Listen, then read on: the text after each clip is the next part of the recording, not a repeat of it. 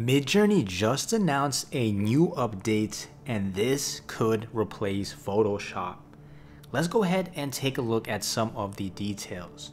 So they're calling this feature Vary Region and essentially it'll showcase right here how to utilize this and additional some tips and tricks and don't worry you don't have to read any of this stuff I'll show you step by step exactly how to set this up so you can go ahead and start utilizing this in your own AI images. Now, if you're brand new to Midjourney, don't worry. I will make a new video showcasing everything you need to know, so feel free to subscribe for that. But let's go over and hop over to the image creation now, so you can see how amazing this new update is. So here I am on Discord, and this is the Midjourney chat.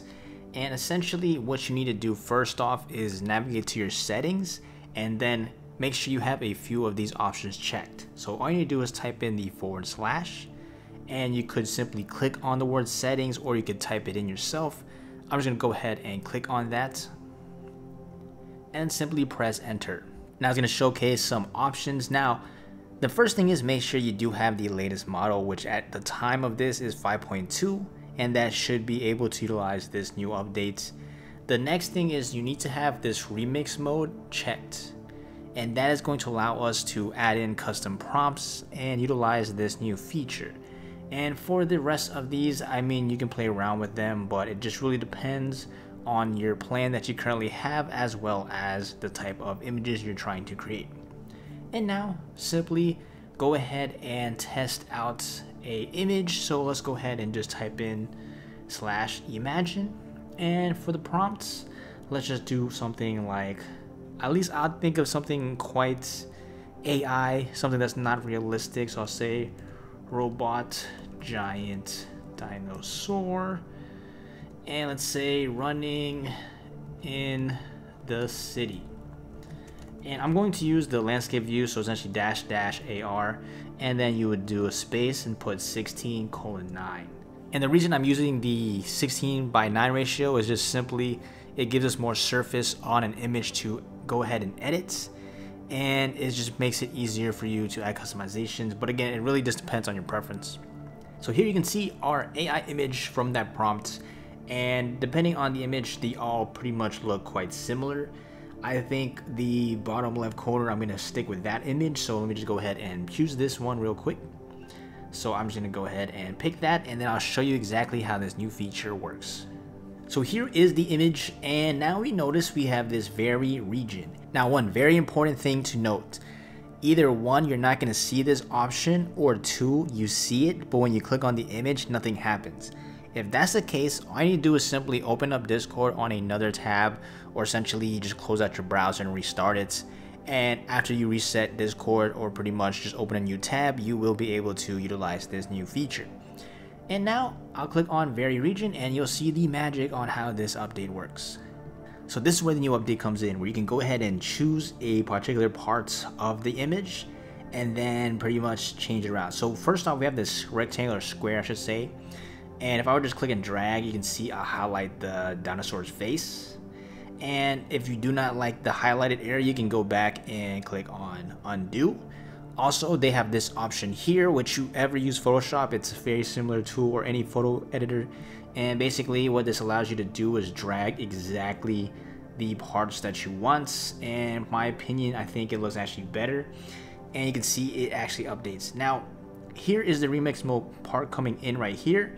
So for the face ideally in the update it says to change it to something that is similar to the image but this is the AI game let's do something crazy and let's put on some random person's face. So let's just do, hmm, I'm trying to think maybe I can put a completely different animal. I could say even a human. Let's just say something, uh, let's just do a different animal for now just to see how it works. And let's just say cute. And let's do teddy bear face. And let's go ahead and hit enter and see what happens. And this is the current result and Honestly, it looks nothing like what I was expecting. However, we can see there is like some slight, looks like a bear's nose. Now, I think I know a way to fix this, and the reason is because I utilize the drag. So let me actually show you an alternative that we can try out with the exact same prompt and see if it comes out with a different result. So I'm back on the original image. I'm going to hit undo.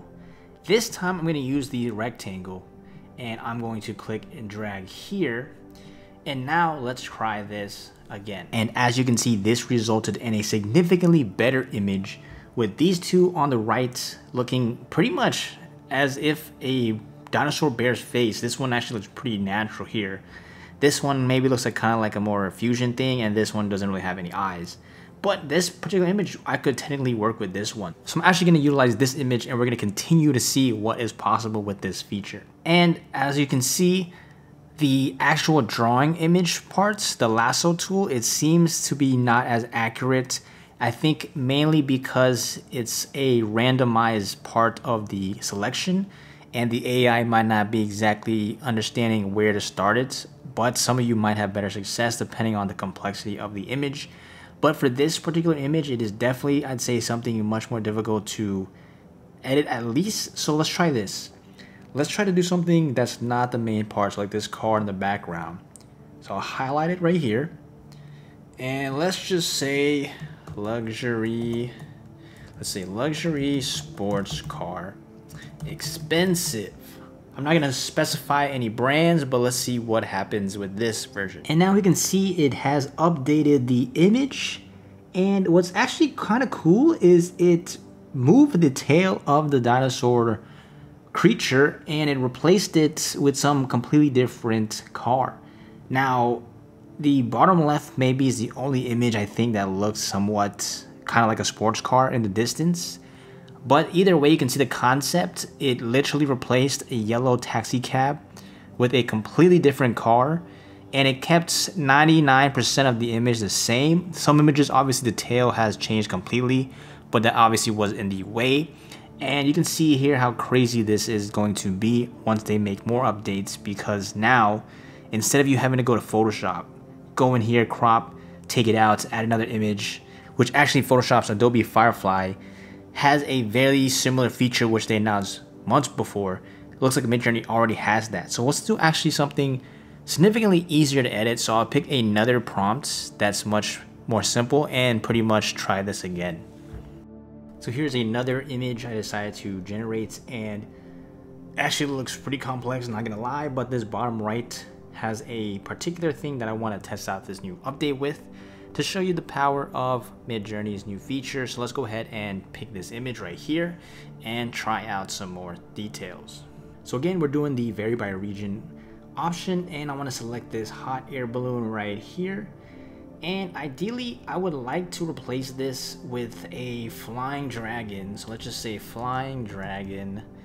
And this can look like some sort of medieval sort of dragon scene and boom let's hit enter and see the magic. And here you can see this is a significantly better result of what I was trying to utilize this for. And it makes the entire image minus the hot air balloon parts look pretty much exact.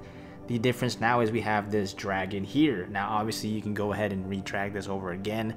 Change that up to whatever prompt you want but as you can see, this is just the newest latest feature in Midjourney 5.2.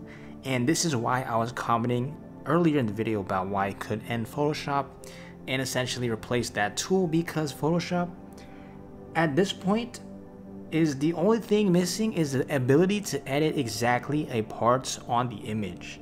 The fact now that Midjourney has this feature Adobe Firefly as one of the other competing AI image generators out there. It pretty much can do almost anything that Adobe, at least Photoshop, can do, minus obviously some additional things such as color corrections and things of that nature. But for just pure simplistic AI image design, it can pretty much do what it needs to do, and then who knows from the later updates. But this was a quick introduction to the latest Midjourney video regarding their updates with the vary region. So if you want to see more AI tutorials, news, updates, be sure to hit that like button and subscribe.